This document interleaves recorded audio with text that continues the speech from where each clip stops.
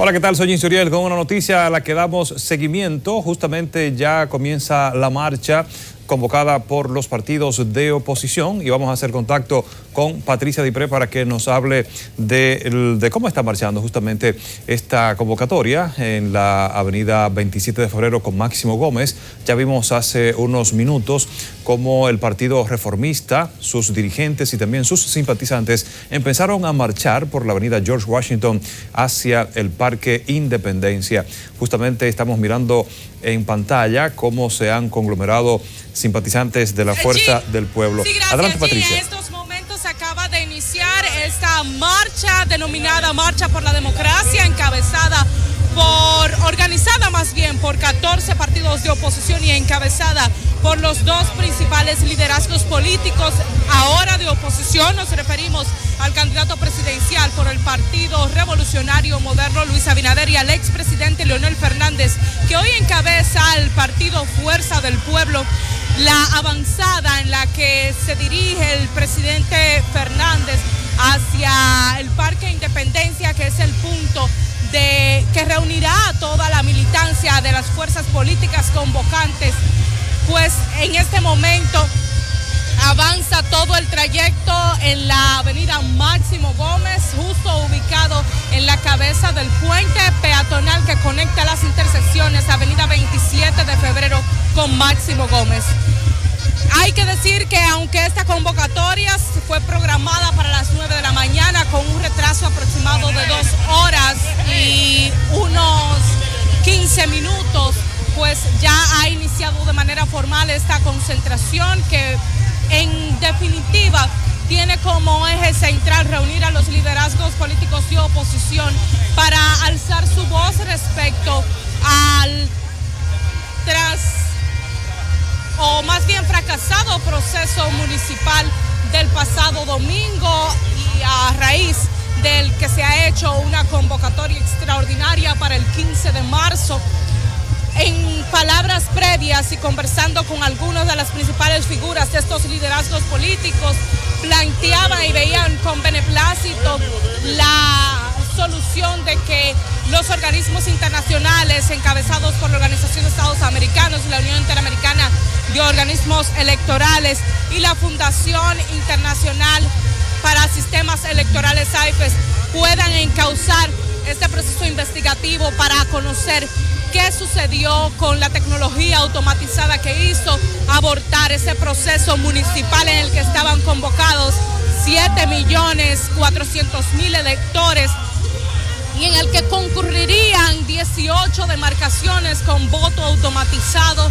Nos referimos a que aproximadamente 4 millones 600 mil electores irían a ese proceso con sistema de voto automatizado. Sin embargo, como ya es de conocimiento público, eso no pudo ser.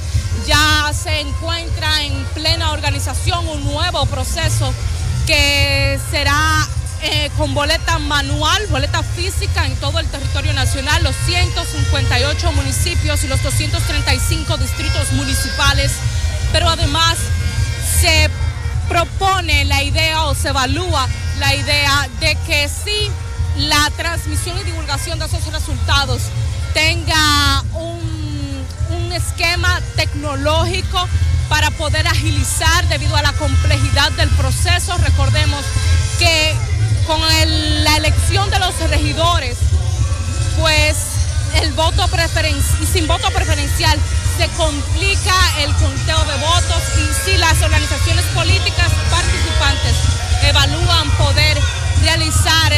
y la divulgación de resultados a través de una aplicación móvil fue propuesta para el proceso pasado, sin embargo aún no se define.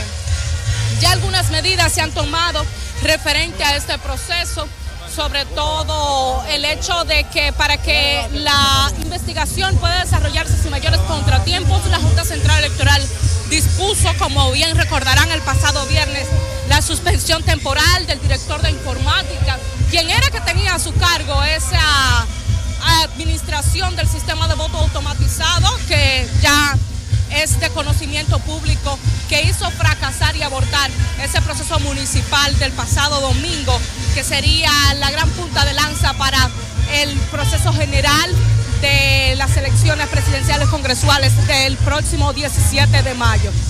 Lo que se espera es que con el inicio de las evaluaciones y las investigaciones por parte de los organismos internacionales programada para iniciarse este lunes, pues se tengan algunos resultados de aquí al 15 de marzo, porque todo dependerá la, y esto tendrá una gran influencia en la participación electoral.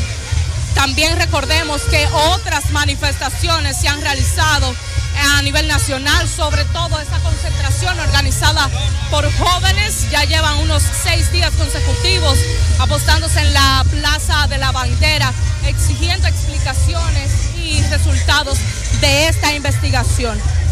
Hay que decir que este recorrido, como ya se ha divulgado por el equipo organizativo de esta manifestación. Inició, como vimos hace unos minutos, que conecta las avenidas 27 de febrero con Máximo Gómez, llegará hasta el Parque Independencia. Pero tenemos a nuestro compañero Rafael Lara, que también se encuentra en otro punto de este recorrido con detalles de cómo se van viendo los ánimos en esta manifestación de los 14 partidos de oposición. Vamos a pasar con él. Rafael, buenos días. Cuéntanos qué nos tienes.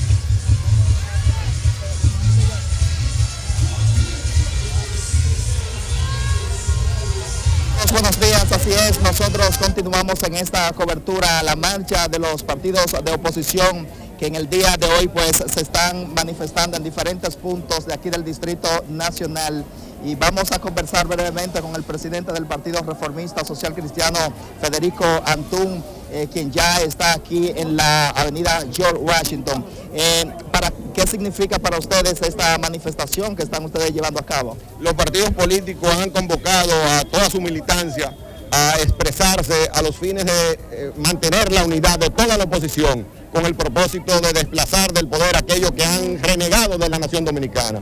Han haitianizado el país, han endeudado el país, definitivamente tienen que ir si tiene que producirse un cambio. La justicia tiene que ser imparcial, el Congreso tiene que ser compartido, tiene que ser contrapeso y definitivamente estamos juntos todos, unidos, pero más que unidos los partidos políticos, está unido el pueblo, el pueblo está unido. Nosotros hicimos una convocatoria de unidad a los partidos políticos hace mucho tiempo, antes que se escogieran los candidatos, pero el pueblo ha respondido y ha unido los partidos y se ha unido el pueblo para definitivamente sacar del poder a aquellos que durante 20 años han renegado de todo lo que es la esencia misma del dominicanismo. ¿Cuál es la posición de ustedes frente a la decisión del gobierno de entregar la investigación del, supuesto sabotaje de las elecciones a un organismo internacional? Es una demostración más de que definitivamente todo el entramado y toda la comparación que había quedó al descubierto y que definitivamente lo que están buscando es un poco de sosiego para tratar de hacer en las elecciones lo que no pudieron hacer en las elecciones pasadas. Definitivamente nosotros aspiramos a que haya una investigación sana, pero más que la investigación, porque ya la investigación no va a traer nada, ¿eh? ya eso es lo que pasó, pasó. Lo que hay que hacer aquí es estar seguro de que en cada mesa electoral, en cada colegio electoral, no suceda lo que ellos pretendían hacer y pretenden todavía hacer con el voto manual. Hay una especie de rebeldía por parte de un sector social del país que se está manifestando a ligarse con la clase política nacional. Me gustaría saber su opinión al respecto. Yo no lo he visto, yo no lo siento, al contrario. Lo único que ellos quieren es hacerse sentir como una expresión más de la inconformidad que tiene todo el pueblo. No he visto a nadie que se haya negado, dice que no son políticos, pero que es una clase que está respaldando, porque la única vía para desplazar a los que actualmente están son los partidos políticos, no hay otra, la democracia no prevé ninguna otra.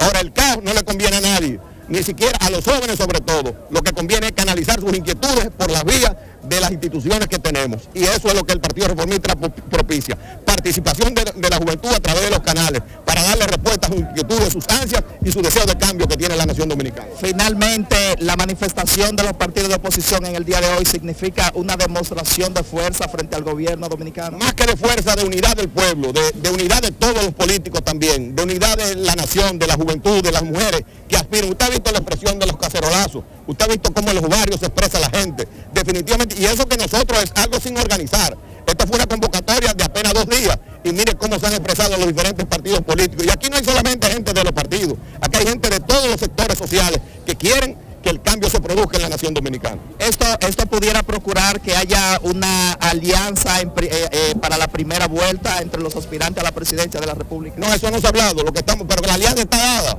Aquí hay una alianza de todo el pueblo que quiere un y definitivamente la alianza está dada en la base social. Si en primera, en segunda o en tercera se van. Bien, muchísimas gracias a Federico Antún, presidente del Partido Reformista Social Cristiano. Por el momento es toda la información. Yo retorno contigo al estudio.